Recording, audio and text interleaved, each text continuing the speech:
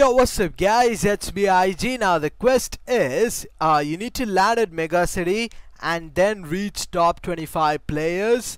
Uh, now to do this quest like easily and without getting confused, I would suggest you guys do solos because I know a lot of people get confused with the top 10, top 25 and these kind of quests. Uh, so the best way is solos because if you do solos and if that's like less than 25 then that means that you have completed the quest.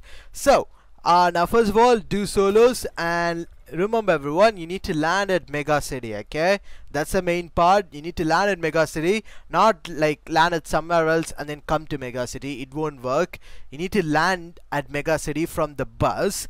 And yeah i will see you when i get into the game. Okay now remember everyone if you want to complete this quest really quick and uh you know like like not bother about you know getting eliminations and having fun I would suggest you guys uh, just land here and then pick up a vehicle like right over there that's a vehicle.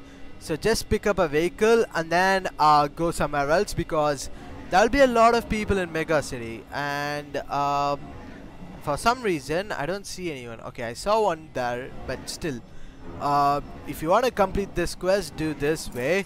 You need to be a little bit of uh, you know I can't say the word on YouTube. So yeah land here and then uh, get the vehicle and basically just dip out and uh, go somewhere else where there is uh, there will be loot and then pick up the loot. And let me just explain you guys rather than showing you guys so it'll be easier. So as you can see in the top right uh, like 94 people remaining in the match.